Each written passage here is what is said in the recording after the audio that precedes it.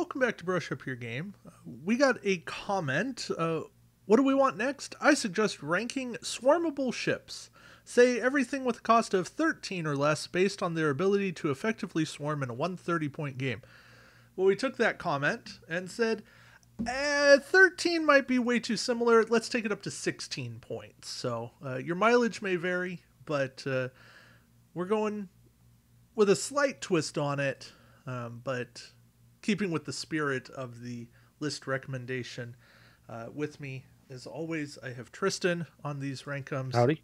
And uh, we will uh, guide you through our top 10 swarm ships. Uh, we took it both as the generic ships. Uh, so if you want named ships, I think that pretty much says uh, run like named Jem'Hadar ships. They're the ones that interact with each other the best. Mm-hmm. Uh, but yeah, so uh, uh, and I know this much from putting stuff together in the lists. Uh, a lot of a lot of agreement, but also a lot of uh, discrepancy. So that should make for some interesting ideas here. Yeah, a lot, a lot more options than I would have uh, initially thought when, when, looking through Utopia. So yeah, which is good. Um, but I'm going to kick things off with my number ten, and uh, my number ten is the Klingon K't'inga, specifically the one with the tech slot, uh, because if you're going to swarm Klingon ships, it should have a tech, whether you want Klingon cloaking device, you want reinforced hull, uh, or you want both because ultimately you probably want to find a way to have both. Maybe that's a lot of investment, uh, but this is a good ship. Has four dice. Uh, is not the best Klingon swarmer. No, that'll come later, but it's a good one. Uh, yeah, no doubt. Uh, I I love the K't'inga as a swarm, as we'll see later.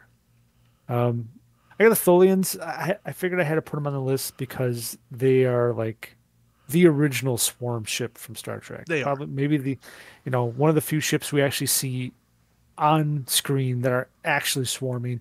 Are they really great in game? Yeah, uh, they're definitely due for a recosting. Uh, I do think that the uh, Tholian web uh, conceit uh, of their, their secondary weapon is very interesting. Um, if you get a bunch on the on the board and and you let have your opponent cross that threshold, that that can hurt. Um, but uh, it's more of a fun thing than anything else. It certainly is a fun thing. I I do enjoy it. I um, the one way I have enjoyed Tholians a lot is in uh, peak performance, where yes. when a ship dies, it gets to come back. So, um, but it's still good, and uh, I still like it. Uh, my number nine is a Constitution class, and I think for 16 points, you're hard pressed to get a whole lot better than three dice on a 180 arc, mm. and uh, it it means you got a little bit of forgiveness in your maneuvering. Uh, you've got two crew slots and a weapon slot. There's a lot to like there, and uh, that's why for me the Constitution slides up to number nine. Constitution is an interesting choice. Uh, a minor spoiler makes my list for sure. Um, uh, yeah, you, you don't think of that one as a swarm ship, yeah. but it, it, definitely has potential there. Oh yeah, plus it supports fighters. So if you really want to go swarmy, yeah, you can go like four f- constitutions, three sets of fighters, and you're gonna be tougher to kill than you would think. Yeah, that's a good point. I got another maybe more more fun ship. It, it, you know, uh, offensively, it's not gonna do much of anything, but it's cheap. Uh, it's got the tech slot. You can load it up with, uh, you know, fun little uh, hook mines or what have you. Um, I did face uh, Dan in, uh, in our Fremont League last, I think it was last year, but he had nothing but Romulan science vessels with mines, and it was probably overkill, but it certainly was uh, challenging to try to navigate those mines, and I will say I lost. So for that reason alone, I figured I had to make the list. Okay, fair. Yeah, uh, cloaked mind swarms, very annoying. Um, well, for my number eight, I went with Romulans, but I went with Romulan yeah. drone ships uh, because I, you get three attack dice, you add in three defense dice, and five total durability, plus access to enough tech to be just annoying if you want to be. Uh, it's not like you're going to win everything because of these, but you're going to be hard pressed to be one shot unless you roll dice as poorly as I do. Uh, yeah, they're they're interesting. They're kind of slow. They don't have any maneuver faster than three, but they're pretty evasive, and I like them. Yeah, they they uh probably uh, definitely uh, overlooked a little bit, maybe. They Uh, are it's, overlooked. uh, yeah. yeah, when you think about Romulan ships, you go, oh, they don't have a lot going on on kind of the lower end of the cost spectrum, but this this is a solid option. Drone ships and D7s. Yeah, yeah, that's about it. Yeah. Speaking of D7s, I have the the Klingon D7 here. Uh, I mean, three attack. It's got a battle station. Uh, you know, the I think the only well, other than the the Kelvin Warbirds, you know, the only Klingon ship that has a native battle station. It's only 11 points. I mean, you can load up the board with these if you want, and and really, if you're talking about you know swarm, I think you put 11 on the board still have enough points left over for a Gowron and a, a Donatra or something to, to add some some attack value. Um, you know, just crowd the board uh, Yeah. with that. It's uh, you know, you know that that is the pure swarm concept there. It is pure swarm. I do like it. Uh, spoiler: it shows up later on my list. I'm sure it does. Uh, my number seven is the Oh, okay. Andorian battle cruiser, and I don't know. I don't quite know why. I'm not this like massive Andorian fan, but I played them a few times in missions. I like what they bring to the table. They've got decent durability. They fly reasonably well. I think it's more they've got some nice upgrades that you can use to enhance the ships just a bit uh, that aren't like super overpriced. And if you swarm with Andorian battle cruisers, you've got three dice, 180 arcs, battle stations access. You're going to be decently offensive, and you got enough durability to take a punch or two. I like it. Yeah, uh, it basically kind of you know again uh, Constitution class, but it has a tech slot. We talked before about how much we like having tech slots on things. Yeah. So, yeah. Um, Well, I got the uh, the Jem'Hadar attack ship. Uh, maybe just because uh, I hate seeing these things in Alliance. Uh, so Oh, yeah. uh, they definitely swarm very well. Uh, 13 points, you know, 3 2 3 2 has a nice assortment of uh, upgrade slots. Um, you know, uh, just uh, uh, would work well with some of the named uh, attack uh, Jem'Hadar attack ships that, that that offer some some bonuses to to their their brethren there. So, um, you know, they're they're uh, they don't look so scary on paper, but once you get it into one of those uh, alliance missions and they tear you up, uh, you get some new respect for them. yeah. Uh, further spoiler: they show up later on my list. I'm sure they do. uh, yeah, they're they're good. They didn't used to be as good, but they got nice support. Um, yeah, my number six is the Maquis Raider, and I know, I know, you see the printed twenty, but it's it's been recosted. I don't know why it doesn't show up a little cheaper. I, it's probably the slot loadout I went with, um, but they are cheaper now. They're even cheaper in spuds. Maybe, maybe not. I need to check on that. But they're maneuverable. That's the real uh, cut of their jib. Um, yeah, they're 13 points. That's what they should be. Uh, But they, the only maneuver on their dial is a red three come about. They've got two and three turns that are white. They've got 90 90 arcs. They just, they fly well. They've got nice upgrades if you want them. To be even more maneuverable, more slippery, and they're just potent.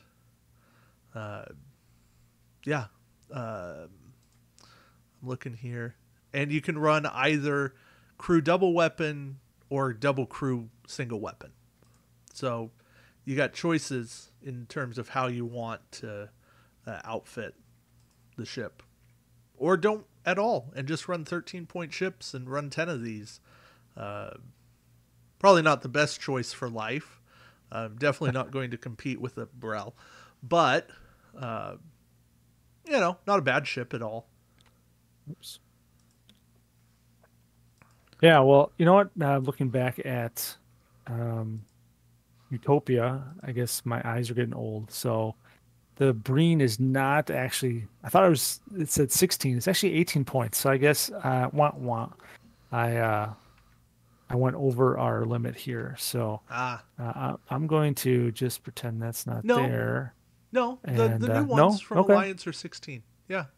Oh, the 16. Okay. Well, okay. Spuds oh, okay. is- so that's right because I'm using yet. Utopia Spuds, and it's not in Utopia Spuds. Yeah. There we go. All right, perfect. All right, so I, I'm not I'm not a total fool. Um, so for 16 points, first of all, great cost reduction over the Oh, yeah. Uh, probably the only the one that maybe be even close is the reduction on the uh, Klingon Raptors. But um, Hmm. I, I mainly picked this one because first of all, great slot uh, slot ability. Uh, Mhm. you know, four four slots on a 16 point generic, fantastic. Um, it's got four hull, so you know it's got that tech slot. My thought is, I'm putting reinforced hull on there, and now you have a, you know a ship that's going to take nine points of damage, and you can you know run five of them. Uh, that's uh, you know maybe get a, a little bit a little bit more damage uh, ability there with a you know a Donatra or some some weapon adds-ons and stuff. I I think that could be a pretty formidable force. It could be. Yeah. I um I think I missed it because it's not correct in spuds, but even if it did, I'm not sure that it bumps anything out. I I just have never I like Breen in the show. I don't like what happened to them in Attack Wing and until I see otherwise, I don't think I'm ever going to uh, change my mind. I'll be proven wrong someday, spectacularly, and uh, then I'll eat my words. But yeah, uh, Definitely a unproven element so far, but I think they have potential. I do think they have potential. I I like that much. So um, yeah, my number five was your number eight. It's the D seven, Yep. and uh, you know very very good ship for eleven points. You're getting three attack dice with offensive quality. You don't have the same defensive durability that you do with cloaking ships, but you got enough to be scary. Uh, and 11 points hitting hard is pretty good. Mm-hmm. Yeah, I'm kind of catching up to you here with the Constitution. Um, I mean, 16 points, you can run a bunch of them. Uh, type 8 phasers on there, so now you have 4 attack. Uh, it's got a 180 degree firing arc, and still got pretty decent maneuverability. I, mean, it, it's got a, got a lot going on there, um, and you can, again, run five of them, uh, six of them uh, in a fleet if you wanted, uh, and still hit pretty good. I, I, I like that. Yeah. Uh, no argument there. Uh, and then I followed the same pattern you did. After the D7 comes the Jem'Hadar attack ship, There you go. uh, which very much a solid ship at 13 points. And uh, I think for me, it's more than just Alliance. I've seen what they do both as a generic swarm, but also what they can do with some named ability ships mixed in with them. So uh, I know that wasn't part of the criteria, but if you use them, use the generics as part of a swarm and bump them up, buff them up, uh, you've you've got something really potent going. Yeah. Uh, kind of on the other side of that, that fence there is uh, the uh, bane of Jem'Hadar attack ship's existence, the Defiant class. Uh, a little bit cheaper than the Constitution. Um, a little bit better defense there with the agility. It's got an extra uh, slot there, which is a double weapon, which makes sense. So you could run Type 10 phasers on here. Uh, you can put a, ablative armor on there to get some more defense, um, and you can you know still have some space left over to, to put a, a couple decent captains here and there. Uh, I've run on run up against a, a couple uh, four ship de- defiant swarms before, and they're they're not uh, they're not fun to to deal with. So very maneuverable ships too. Um, uh, you know, so uh, they have a lot going for them. They are maneuverable. I will give them that. All right. I'm grabbing that. Uh, yeah. Uh, my number three is the Gorn Raider. Mm-hmm. Yeah.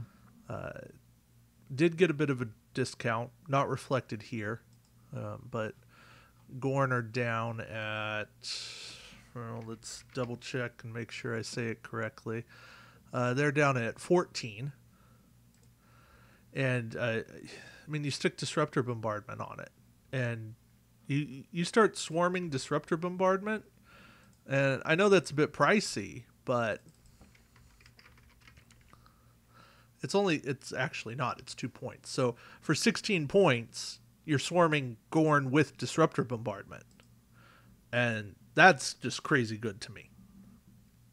Yeah, plus uh, what Gorn sensors are two, three points. Right? Yeah. Uh, so yeah, you still you still have a you know a pretty deadly ship at under twenty points. So. Now I will say it's I put the wrong one in there, but there is a generic Gorn that goes crew weapon Yeah. tech. Uh, Yep. That's the one you want, not the crew tech version. Uh, yeah, I think I just grabbed the first one I saw, but yeah, that that's my bad. it's all right. It's it's out there. It's it, there's there's only, there's a bajillion generics of everything, so yeah, it's hard to keep track of them all. But um, well, I have the K't'inga. This is uh, probably my personal favorite swarm ship, just because uh, 16 points I can run reinforced hull, and now I have a six hold ship that has four attack dice that can cloak and sensor echo. Um, makes it really really really tough. Uh, you can run five of these pretty easily and still have plenty of room left over for some really nice uh, captains.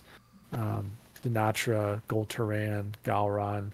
Uh, I love running Picard with Esri, and now all of a sudden you have a bunch of ships that are throwing six, seven attack dice with quality and are really hard to one shot. And they have, you know, decent maneuverability on top of it. Uh, can be pretty nasty. certainly. Yeah, the K't'inga. I don't see it run a whole lot, but whenever it does, I'm always like, ah, I should have taken that out a long time ago. So I was underestimated. It's fun. Yeah. It is fun. It's a little. I'm not gonna say it's too good. Nothing's necessarily too good, but it's it's very good. Um, I have a feeling we line up here with the last two. Probably. Yeah. Uh, Sabers may have become too good. You give me three two three two for twelve points. That just feels too good, especially because the Defiant at three two three three is fifteen. Yeah. I mean, I know it gets a tech slot in addition, but it's paying three points for a shield and a tech slot. And I guess a slightly better maneuver dial, but not much. I don't know. Sabres I just mean- felt really good. I guess they needed to be cheaper than B'rels, but then my argument is B'rels are underpriced. I mean, yeah, Saber. It's. uh I know we had some discussions in the Fremont uh, board because before the Saber class came out with Ships of the Lion, we had our Spuds costing. I think it was like 14 points, some something like that, and we were know, kind of debating what is the recost going to be? Is it going to be 14, 15 points? I think we generally decided that we'd be happy at like 13, 14, and so 12 just seems you know crazy good. Um, Yeah. the double weapons, you know, natural fit for Type 10 phasers here. So now you have four attack dice with some nice built-in quality, um, and you can still spam like seven of these on the board and and have uh, some space for some nice uh, captains. I know Nick in our Fremont League, he's run a couple Saber Swarms now uh, pretty effectively in in uh, some some tournaments and games. So uh, definitely is going to give the B'rel a run for its money, but not quite enough to knock it off the top. No, when when I saw I came up against a Saber Swarm in uh, the Earth Romulan War, and I kind of went, Yeah. "Oh, it is that good." hmm Um, yeah. Um, yeah. So number one, I just grabbed a B'rel. I didn't. Yep. Nothing was wrong with any choice. Um, you can you can swarm independent. You know, Klingon B'rels. Uh, you can swarm Ferengi B'rels. You can swarm the bird of prey. It just make sure it has a tech slot, or if you don't care to upgrade it at all, it doesn't really matter. Just pick a ship. Yeah. It, it's Yeah. it's this 13 point ridiculousness. It's yeah. Yeah, 13 points that can cloak and fire four dice. That's that's what's really good. Yeah, it's it's great, and you're right. The it's I mean, if you can have the tech slot, it's nice. If you want to put Klingon cloaking device on there, but you know you don't. No one's going to have eight of those available available to themselves in in, in real life. No. Um, but yeah, I mean it's it's uh, it's such a, a good stat line. Uh, you know, fragile, but you're just going to overwhelm your opponent anyway. Uh, I did include uh, just the, the the Dominion version. It's technically not the same. Uh, I I wouldn't run probably an entire fleet of the Bird of Prey because it uh, it's not quite as maneuverable, and I feel like that having that extra maneuverability can be really key in in a a large fleet. yes. Uh, but I, I definitely would consider running probably one or two, especially uh, if I want to run Gold Turan without a cross faction penalty, because he's he's a great option to boost attack and defense dice at the same time. So No, I like it. That's yeah. I'm so I'm I'm curious. Are you are you just not a Gorn fan, or did you even consider the Gorn? Uh, no, I consider them. Um, I don't know if there's a- good reason that I, I left them off. Um, I guess I just like uh, uh, maybe I felt they were just a little too fragile. Uh, Okay. You know, I, I guess I tend to, to lean towards ships that have a, well, you know, some some more defense uh, minded stuff. But you're right. I mean, I you know, uh, thinking about it, I've run up against some generic Gorn swarm fleets with nothing but disruptor bombardment and Gorn sensors, and they're not fun to play with. That's for sure. No, I I just kind of go. They're the swarm that beat swarming, Yeah. and I I don't know. It's you know I, I'm not here to cause the controversy or the controversy as it might be. Um, I, I'm here to you know I, I respect opinions and differences of opinions, and I'm certainly not gonna you know you can critique my list and go where's the defiant class? And i go i just haven't swarmed defiant classes and i i was so entrenched in the camp that defiant is just a bad ship class for a long time because it was so expensive. I haven't come around on aside from the sao paulo that it's good Well, and there's probably someone going, well, where's the Miranda? You know, because Oh. uh, you, you can turn that into a torpedo boat. But you uh, I feel like uh, with the with with the Saber class now, uh, kind of replaces that uh, Miranda as a as a cheap fed swarm ship. So Don't- yeah don't get me wrong i love the reliant and i have for a long time um i can't justify running the okay even in spuds costing which we definitely have to go back and fix this the miranda's 12 points Well, I think that's I think that's the um because it was recosted with uh, to boldly go. and I think it is at twelve points. So um, okay then WizKids messed up well, it just kind of yeah, it kind of shows maybe uh, the uh, maybe a bit of short sightedness in in uh, you know product development there that yeah, you within can't have a a Miranda matter of a couple years, yeah. Saber at twelve. yeah That Saber's got one more attack die. I guess you can argue Miranda has 180 arc, but yeah I think that's that's about it. But uh, probably doesn't not enough to justify um, it being 12 points. It probably No. should be 10 maybe something like that. I'd settle at 11. 11. I'd call it a difference, but anyway, Well, uh, yeah. no, it's it's viable. Um, if if you wanted us to do, and uh, I mean the comment did, but if we took a look at ships at 13 or under, the Miranda would have been there. Yeah, yeah, definitely. Um, Um, but I don't know Yeah. what else.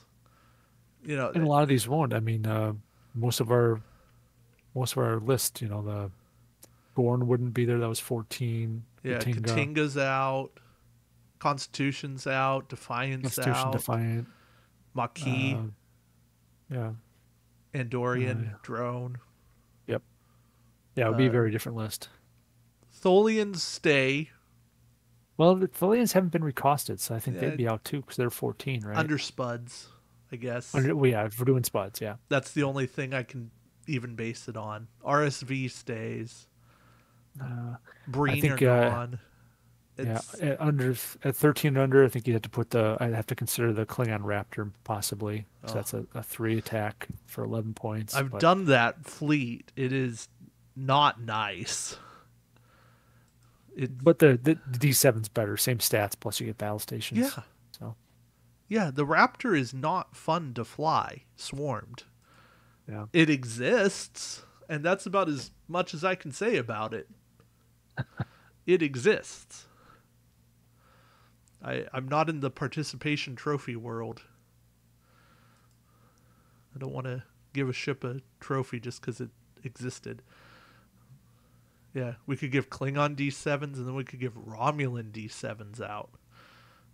Yeah. I thought about that. I thought about it. Um, but yeah, I so I I'm sorry I didn't know who left the comment, but uh, I know your initial request was for 13 or less. I we had to tweak it a bit because that's the only way to make a for us to have made a viable top 10 list because I I just didn't see a path forward and Tristan I don't think you really saw a path forward with only 13 or less.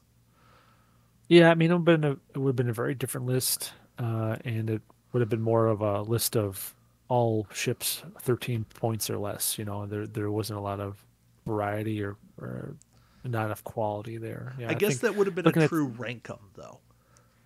Yeah, well, yeah, Yeah. I suppose it would have been. Yeah, Yeah, but um, but I think there's definitely. I, I- I think if you look at 16 points, I mean, you're still you can still load up, you know, uh, you know, five six ships. That's a decent swarm, um, Yeah. and maybe find some ships you would not have considered otherwise um, at that price point. So agreed. And, and I think that's the idea uh, we both went with was, okay, by running a ship this cheap, we can put four or more, typically five or more, on the board, and make them work.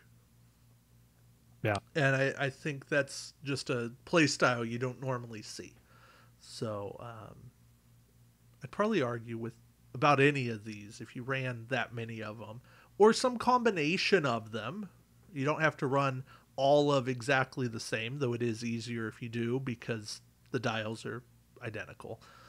Um, you'd make a pretty effective swarm.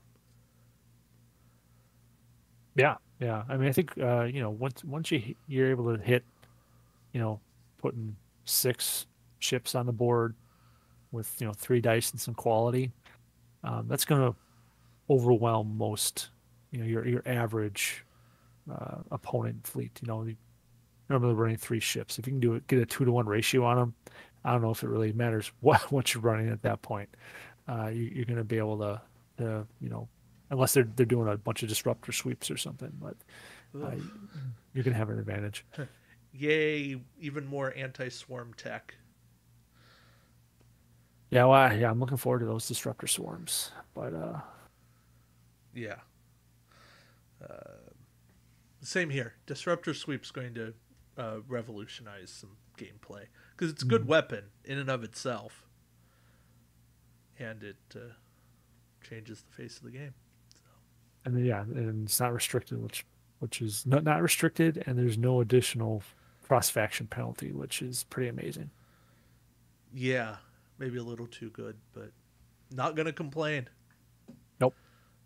So, all right. Well, uh, yeah, I think that's uh, it for us. Other than um, maybe asking, what ship might you like to see be able to swarm, whether it's in the game or not?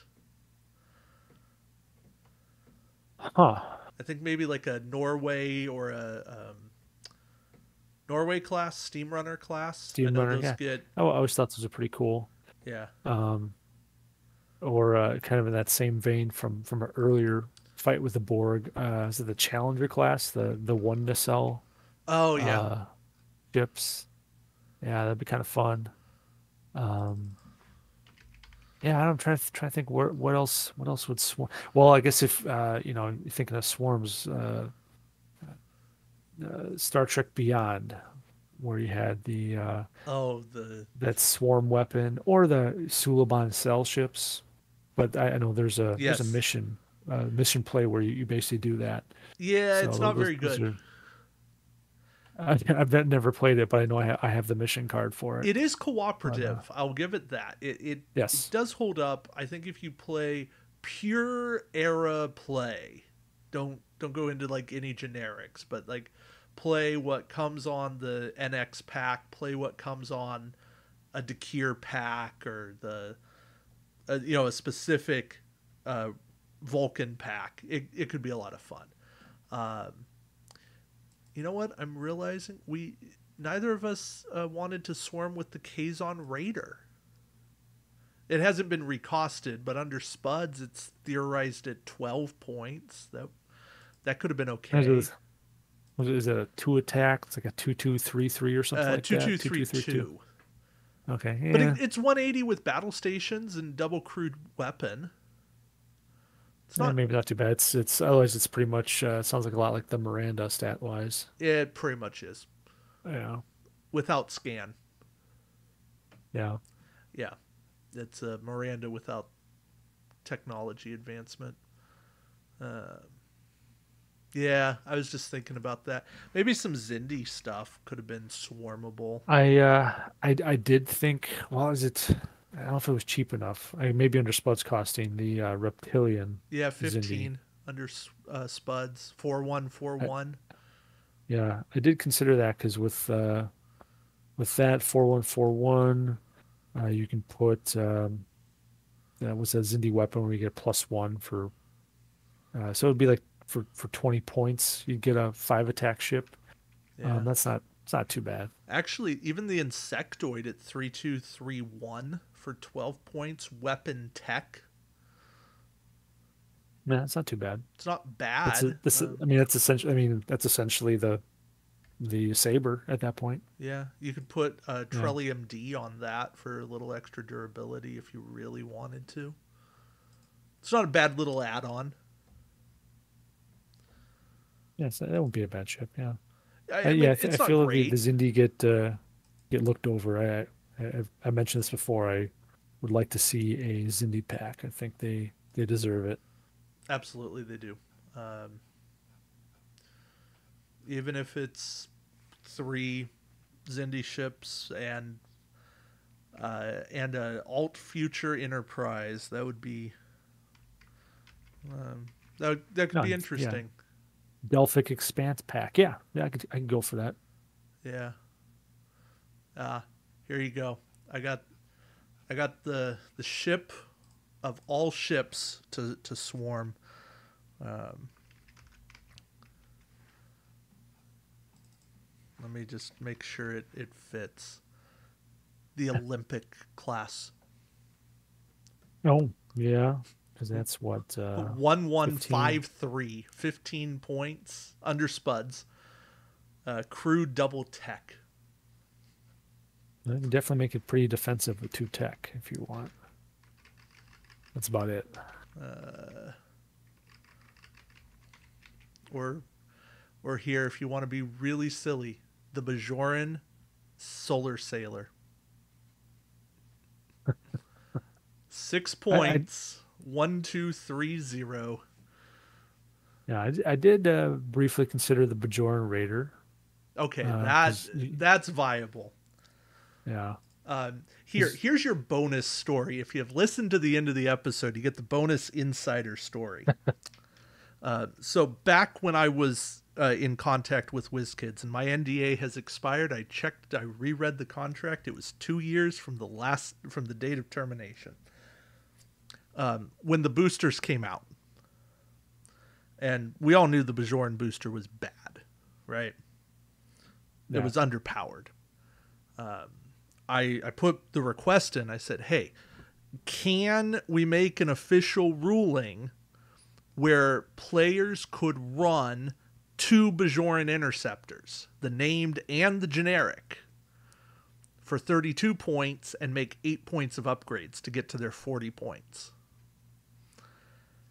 And it it died. It never I never got a response, which is of course a Yeah. no. But I thought, you know, I always thought that that was a good fix for that in a booster situation. Because they couldn't compete by upgrades. That was not how they were going to do it. But if you could give them a second ship where they're Yeah. two on one now, you give them a little bit of the numbers game, it would have helped.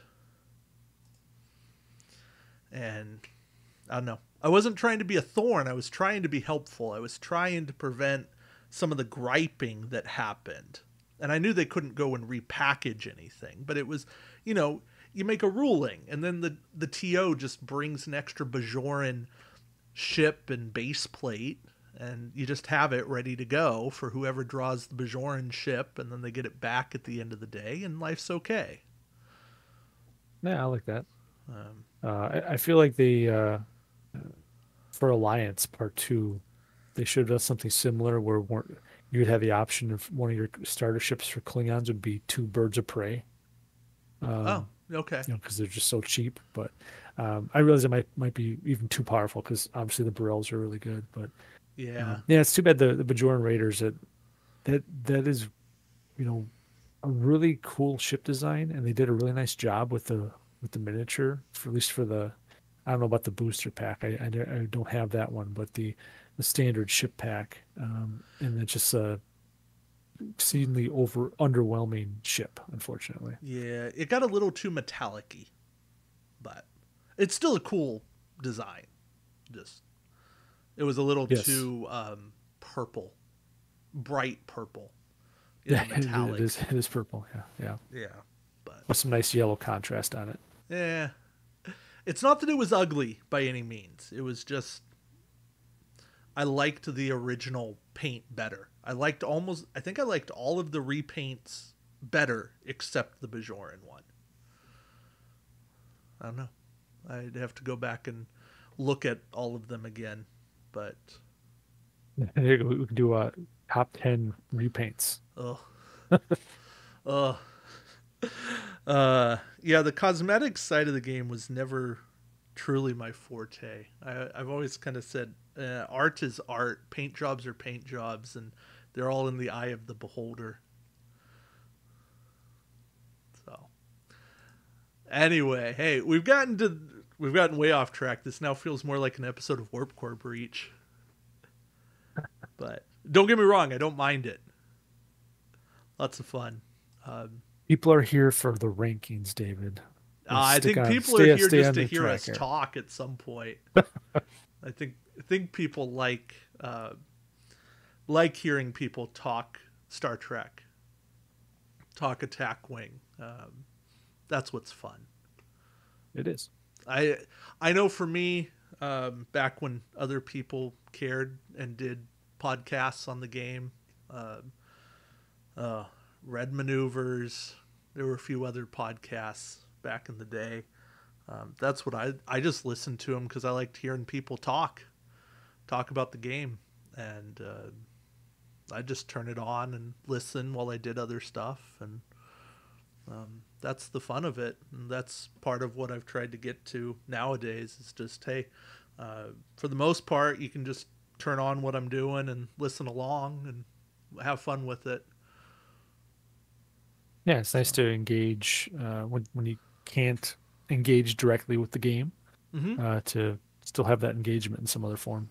Yeah, I, I do think there's room for a, a more uh, competitive look at the game because that is certainly not something I'm providing anymore. But uh, I know the I've always thought it would be nice. You know, we have we have a lot of folks, especially in Fremont, who record games, um, and uh, I don't know if I'd ever have the time, but uh, to go back and maybe uh, have you know uh, do highlights and have someone break down. Okay, like you know, here's where this game went wrong for this player. Or here's here's how this mood played out, and this is why this. You know, yeah, I think it'd be. I think there, there's there's room for it. It's just finding someone who has the the acumen to do it.